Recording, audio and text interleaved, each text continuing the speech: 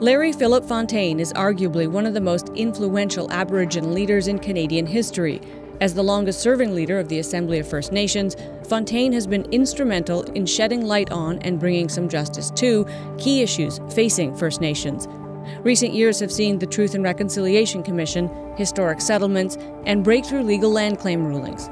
I asked Fontaine how he thinks Canada's First Nations are faring today. We're doing much better. We're more politically involved. We have, in the Northwest Territories, the Premier is uh, Indigenous. In Manitoba, we had uh, Eric Robinson was Deputy Premier. We have uh, Indigenous people that are uh, in the uh, uh, Liberal cabinet.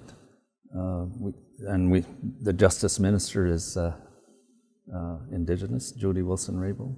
So politically, we're we're in, in much better shape, at least in mainstream politics.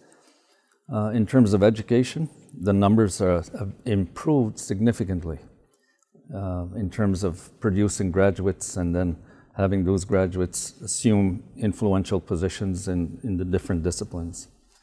Uh, and so we have, the professional class is growing.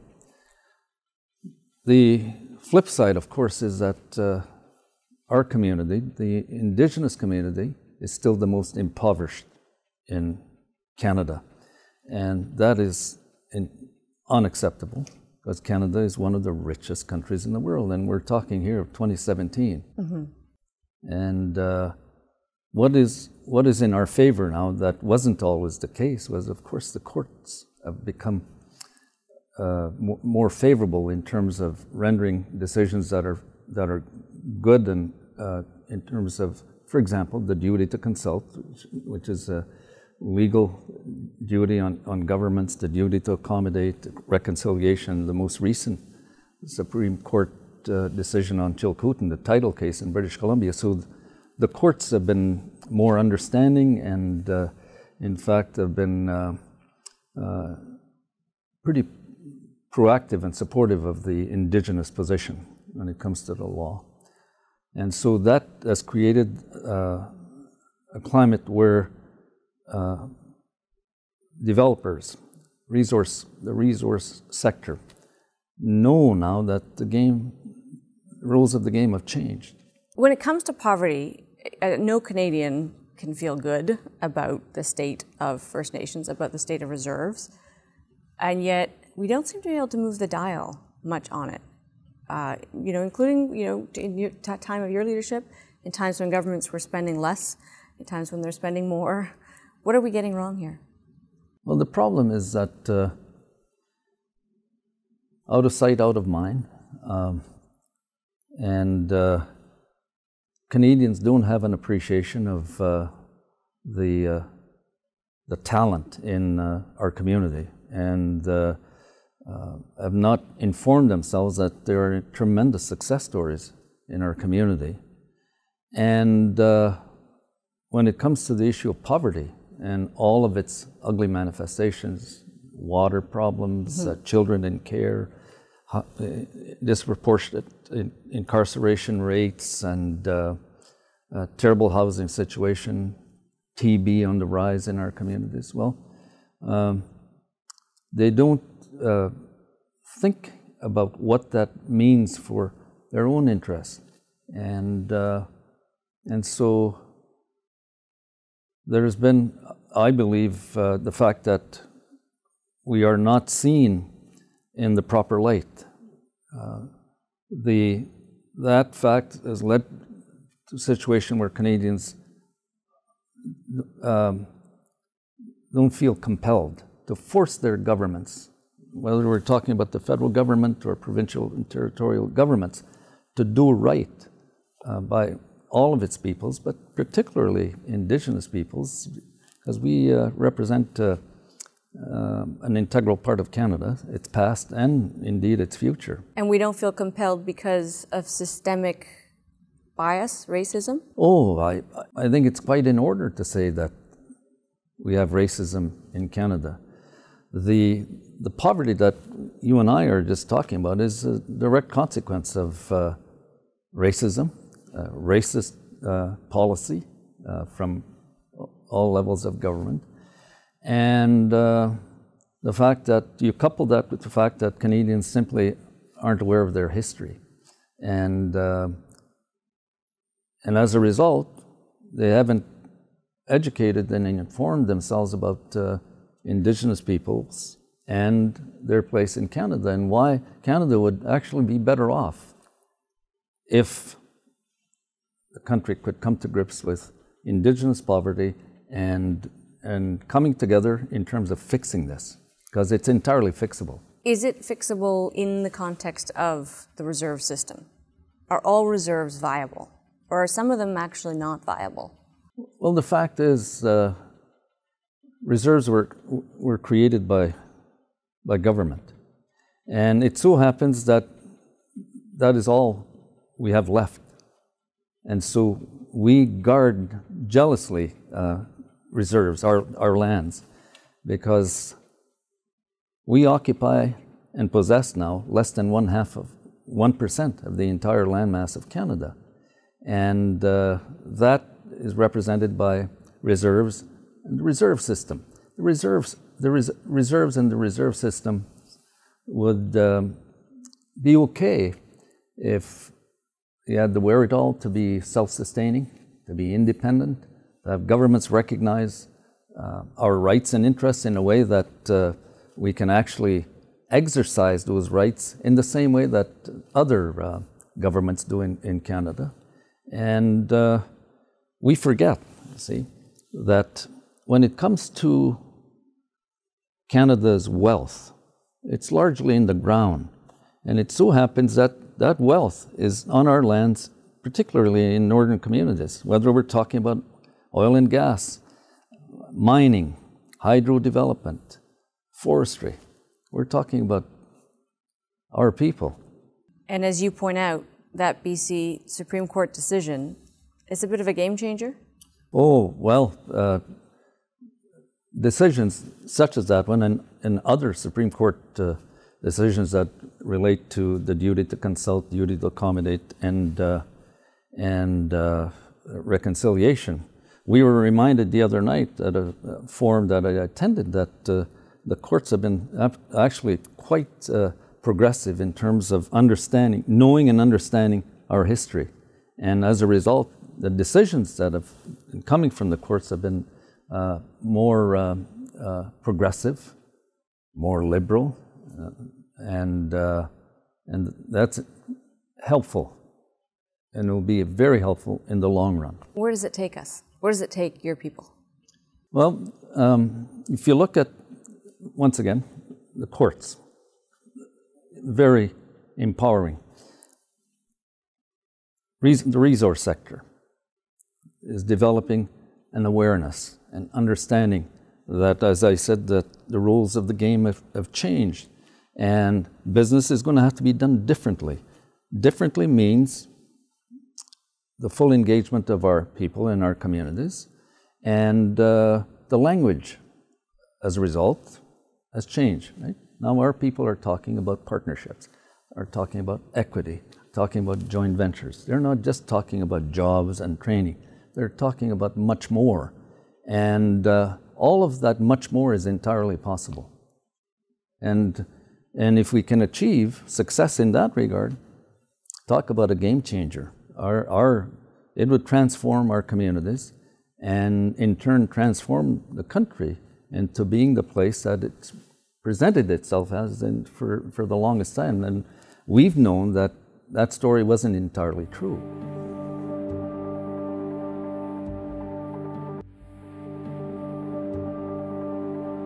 As a political leader, Phil Fontaine often acted as a bridge to business and government. Recent court rulings have newly empowered First Nations and forced businesses to consider working with rather than around First Nations, and that is a change for the better. Can we sustain that notion of better? It really is dependent on, on the private sector. It certainly depends on us uh, reaching out in, in a more proactive uh, way with the private sector. It's about governments uh, bringing forward good policy that will enable rather than prohi- prohibit our, our communities from being fully engaged in every aspect of uh, Canadian life, whether we're talking about the, the economy or the education system or the ch- child welfare system or just you know doing something about water and uh, and, and housing as, uh, as just two examples about that. But for the business community, the learning curve has been short and steep. Uh, and it's interesting to look at some of the oversight that went on before some of these recent changes. Are they, are they where they need to be? Do they understand just what the duty to consult is going to mean? You talk about a steep learning curve. That's true for government, true for the private sector, resource companies, true for us. And so it's really, we're talking about a more collaborative approach. And for example, when you talk about nation to nation, that's re- we're really talking about collaborative consent, where our community is engaged in, in drafting laws and figuring out what laws are, are needed, what policies needed, uh, and to ensure that, uh, that the definition of nation to nation includes the, this notion of collaboration, collaborative uh, approach to, uh, to not just uh, the way we run the country in terms of, of government, but most particularly when we talk about uh, business development. From the point of view of First Nations, uh, one of the great strengths of the AFN is the unifying factor, speaking with one voice. Uh, when that doesn't happen, is that a problem? Well, we shouldn't overlook one important uh, uh, fact here is that we're an incredibly diverse community. 633 First Nation communities in every part of the country. Uh, we speak, what is it, 58 uh, languages. Uh, our cultures are different, our, our traditions are different. And uh, this diversity quite often represents some real challenges to making sure that AFN, the, in this case the Assembly of First Nations, is, is able to represent the, the different points of view and perspectives in a way that makes sense to all. And uh, to expect that the AFN will get things right every time is a bit much, right? Uh, I think uh, that's uh, an unfair expectation in the same way that we don't expect the, the government in Ottawa or provincial governments to, to get it right every time uh, we don't. And so uh, I think that's a, a, a, good starting point to uh, start looking at things differently. And uh, so it's, a, it's an interesting challenge, one that uh, didn't uh, um, cause me to, to lose faith or to be less optimistic. I, I, I always was, and I, I remain optimistic that things will be better. And, and and in fact, they are getting better. But are at a good pace? No. We have to do better, uh, uh, more aggressively. We sometimes look back on uh, turning points. Was the, the Kelowna Accord and then its failure to be implemented a turning point in our history? Well, there, there are a number of major events as far as we're concerned.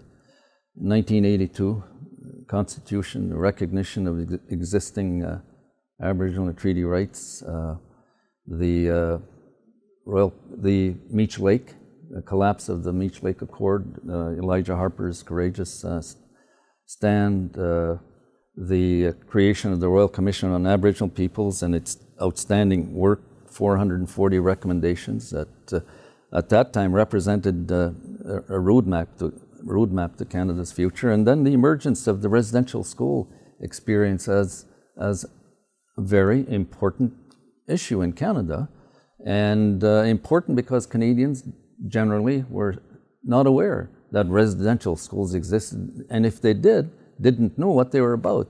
And residential schools came about through a racist discriminatory assimilationist policy, bad policy. And uh, it, it was around far too long, right? The Indian Act in, 18, uh, in 1876, Confederation, the, the table that created this federation, Aboriginal people, Indigenous people were absent. And so those were all important moments in, in our history. Now we have TRC uh, and the report with 94 calls to action. And of course, before then, you referred to Kelowna. That was just um, so very important. It was a missed opportunity.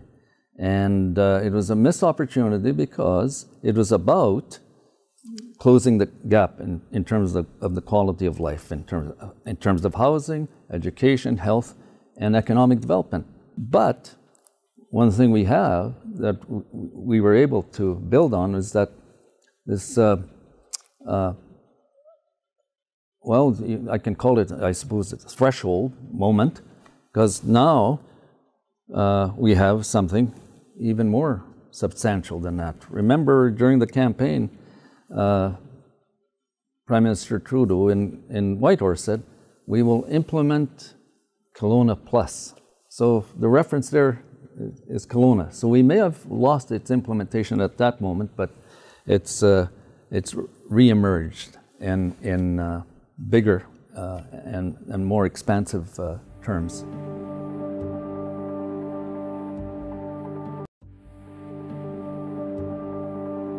Phil Fontaine was instrumental in unveiling the truth about what happened to children in residential schools. While he went on to success, his own experience in that system was one he had to fight to overcome. I, uh, I suffered the, the, the, consequences for years and years. And, I, and uh, you never get over it completely. And uh, in my own case, I was blessed with opportunities. I was at the right place at the right time. And uh, I emerged as I did, not because I was uh, more intelligent or more skilled or more talented than a lot of the, my peers that, that uh, missed out.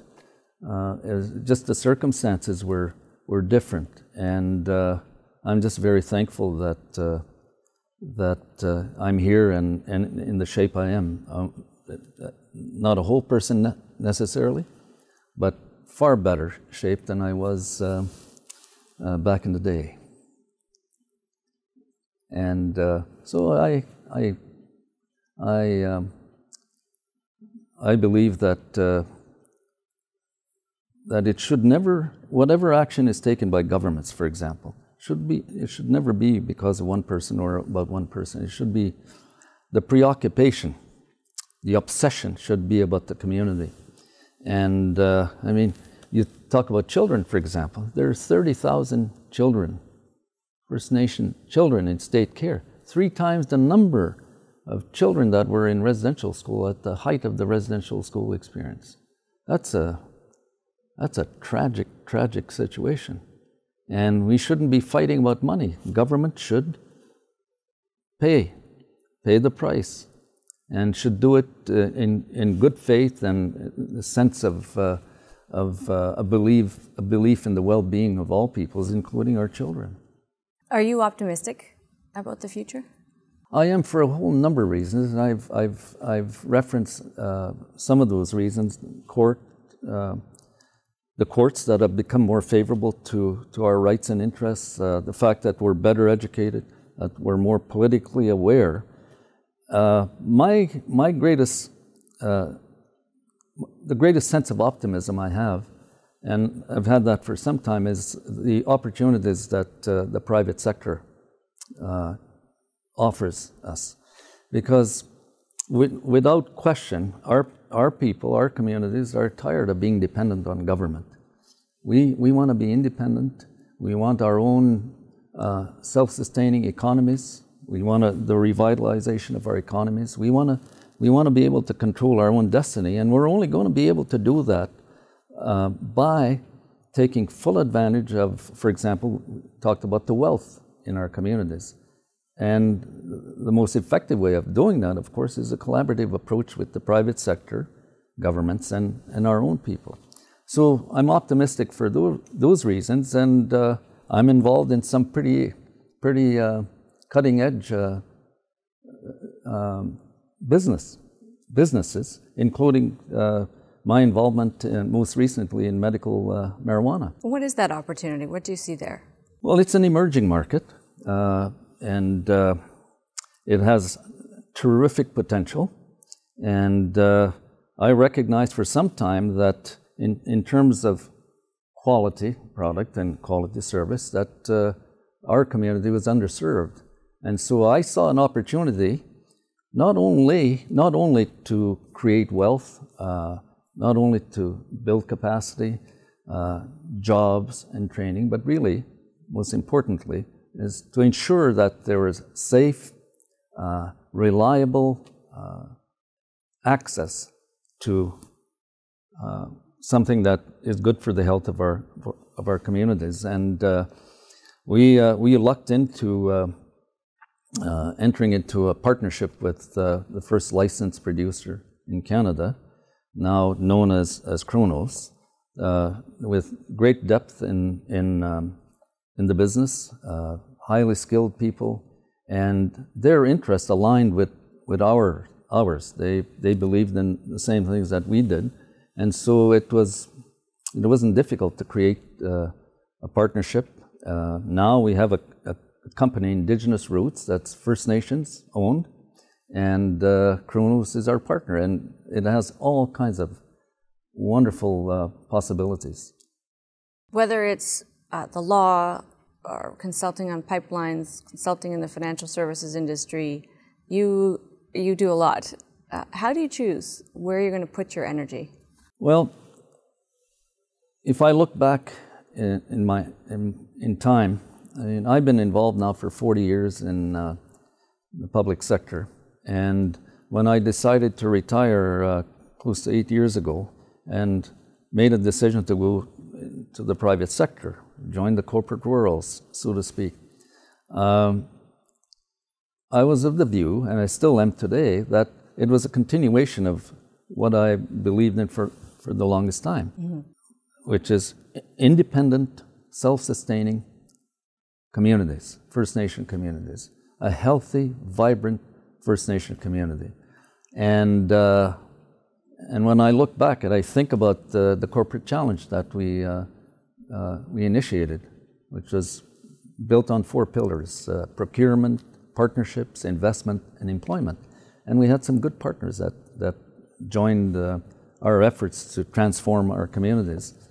And so my exp- that experience convinced me that there was an opportunity here. And then, lo and behold, the, the courts came forward with some tremendously uh, progressive decisions. And so the table has been set for us. And uh, now it's on our shoulders to take full advantage of those opportunities. And in the process, convince the private sector that what we represent is an opportunity for them. And we recognize that the private sector is about certainty. So are we.